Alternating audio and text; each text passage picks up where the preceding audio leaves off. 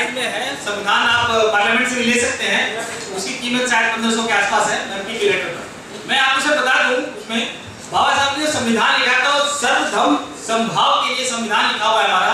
और उसमें सिर्फ़ और सिर्फ़ देवी देवताओं की पिक्चर नहीं है, उसमें बाइबल भी है, बुद्धा भी है, और हमारे जो गुरु महाराज हैं, आपके कबीर हैं, सूरदास, रैदास हैं, सबकी वर्ल्ड के जितने लोग हैं, सबकी उसमें फ़ोटोज़ है। तो पर्टिकुलर रविशंकर जी की प्रसाद के ऊपर मत जाइए क्योंकि भाजपा का काम इंटरप्रिटेशन है संविधान का इंटरप्रिटेशन आप कैसे कर सकते अपने फ़ायदे के लिए बाबा साहब ने संविधान पेश करते समय पार्लियामेंट में ये खुद ही स्वयं कहा मैं बहुत शॉर्ट में बोल रहा हूँ बहुत थोड़ा स्पीड है बोल रहे भाषण में।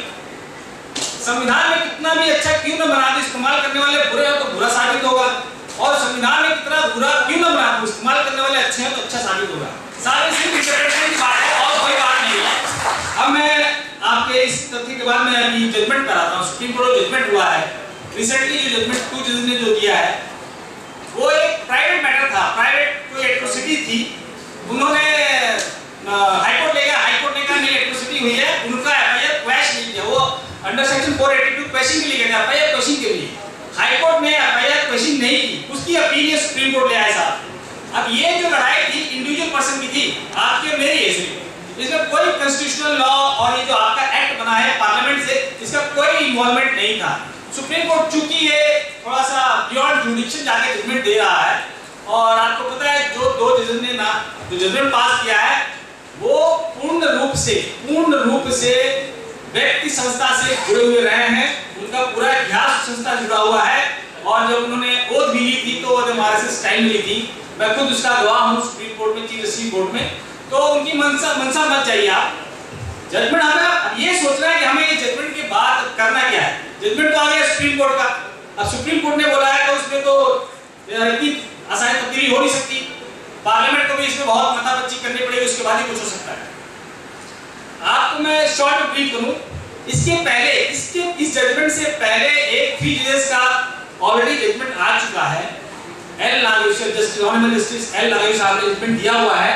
उसमें यह कहा हुआ है कि जो एससी एसटी एट्रोसिटी एक्ट है, उसका इंप्लीमेंटेशन प्रॉपर नहीं हो रहा। सरकार को इस पर फोकस करना चाहिए। अब वो थ्री जजेस का जो बेंच का ऑर्डर है, वो टू जजेस से लार्जर बेंच है। तो ये टू जजेस बेंच का जो ऑर्डर है, ये एप्लीकेबल नहीं हो रहा है। तो थ्री जजेस जो ऑर्डर है, वो एप्लीकेबल हो रहा है, क्योंकि थ्री जजेस जो ऑर्डर है, वो लार्जर बेंच इशू है। अब ये रही बात कि कोई जजमेंट दे दिया है तो इम्प्लीमेंटेशन करने वाले लोग भी वही हैं। कोई इम्प्लीमेंट कर सकते हैं कि भाई सुप्रीम कोर्ट ने कहा है, हम एफआईआर में हम अरेस्ट नहीं करते।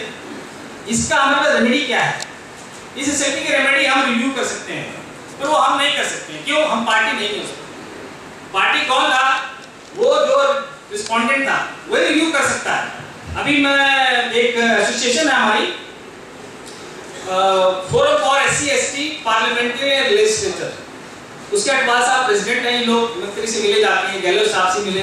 प्राइम मिनिस्टर से बोला उन्होंने और भाजपा की तरफ़ से आश्वासन आया हम इसकी अपील करेंगे। वो अपील कर ही नहीं सकते साहब। वो अपील कर ही नहीं सकते क्योंकि सरकार union of India government of India already उसमें पार्टी थी सुप्रीम कोर्ट ने उनको अपॉइंट किया हुआ था। तो जब सरकार ऑलरेडी उसमें पार्टी है तो आप किस मुँह से बोलेंगे कि रिव्यू करो आप इसमें सिर्फ़ बस रिव्यू कर सकता है तो महाराष्ट्र स्टेट और महाराष्ट्र जो गवर्नमेंट है, वो रिव्यू पिटीशन फ़ाइल कर सकती और जो इंडिविजुअल पर्सन था, जो रिस्पोंडेंट था, जिसने कंप्लेंट लिखवाई थी, वो रिव्यू कर सकता है। अब इसके है, इसके अलावा हम क्या कर सकते हैं? बात आती है, हम क्या कर सकते हैं? ये तो बहुत शॉर्ट में, बहुत ब्रीफ होता है। किसी को डिटेल जानकारी लेना होगा तो आपने संपर्क करना, मैं बहुत डिटेल में समझाऊँगा। अब ये एसोसिएशन है doctor S C doctor association अब ये क्या कर सकती है इसमें? इस पे हमें विचार करना है शायद मुझे लगता है कि हाँ नहीं आज एक्चुअली ये एससी डॉक्टर जो भी और- और संस्था है। सारे ऑर्गेनाइजेशन क्षमा क्षमा करेंगे जो हालाँकि डॉक्टर साहब ऑर्गेनाइज किया है उसके साथ में और भी संस्थाएँ आई हुई हैं इसका मुझे ज्ञान है तो मैं क्षमा चाहूँगा उसके लिए हमारी जितनी संस्थाएँ हैं और जो शेड्यूल कास्ट शेड्यूल ट्राइब से जो संबंधित संस्थाएँ हैं जो व्यक्ति जुड़े हुए हैं अब हमें सोचना है कि इसका क्या उपाय किया जा सकता है तो इसका अध्ययन करने बाद मैंने भी काफ़ी क्योंकि फ़ोन बहुत दूर से आ रहे हैं तो मुझे सोचना पड़ता है कि क्या एक समाधान हो सकता है। देखिए सर, इसका रेट तो हम फ़ाइल कर नहीं सकते। Under article thirty two file नहीं कर सकते इसका। रिव्यू पिटिशन हम फ़ाइल नहीं कर सकते। तो रेमेडी बची क्या? रेमेडी हमारे पास एक है, एक।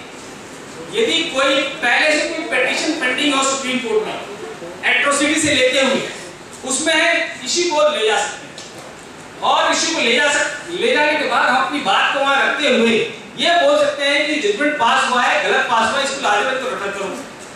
और दूसरा तरीका है कि हम आज आज की डेट से एक नया इशू क्रिएट करें, ताकि ये दो चार साल बाद सुप्रीम कोर्ट में जाए और फिर वो लाजर बेंच को रेफर लाजर रेफर हो तो लाजर बेंच मतलब पाँच जजेस होता है, क्योंकि थ्री जजेस का जजमेंट ऑलरेडी आया हो आपके पास, जो कहता है कि एससी एसटी एक्ट को आप इंप्लीमेंट करो प्रॉपर क्योंकि उसका इंप्लीमेंटेशन नहीं हो रहा है। दो जजेस जो है बिना किसी डाटा रहा है तो इसका ही इसका समाधान है लार्जर बेंच। लार्जर बेंच आपका फ़ाइल हो जाती है।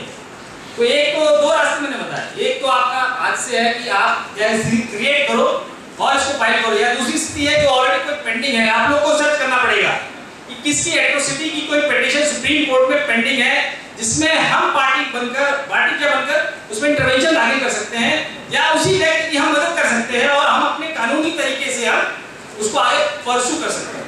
और दूसरी स्थिति आप अपने जैसे आप सब बोल रहे थे, पार्लियामेंट्री हमारे हैं, नेता है, आप उनको संपर्क करिए क्योंकि गवर्नमेंट जो बीजेपी की है, माइंड उनका क्या है, आप समझ सकते हो।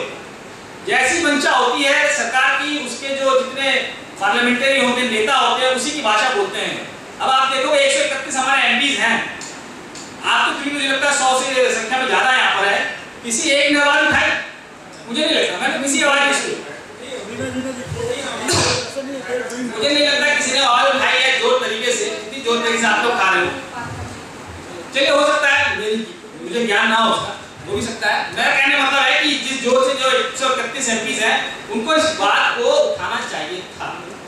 तो साथी मैं समझता हूँ मैंने इस चीज़ को कवर करिए डॉक्टर साहब, और मैं चाहूँगा कि आप इसको आगे बढ़ाएँ, और इस संबंधित किसी को कंफ्यूजन ना रहे। आप क्लियर समझ लेना, पार्टी आप थे नहीं थैंक यू